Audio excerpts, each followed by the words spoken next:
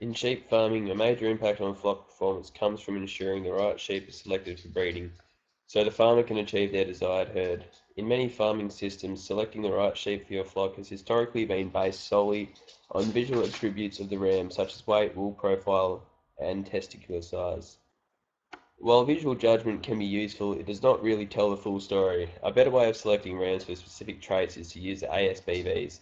ASBV stands for the Australian Sheep Breeding Values and are estimates of an animal's true breeding value based on pedigree and performance recorded information. They are essentially a projection of how that animal's progeny will perform for a range of traits. Using this information, the farmers can select sheep to improve their desired traits based on data gathered and recorded.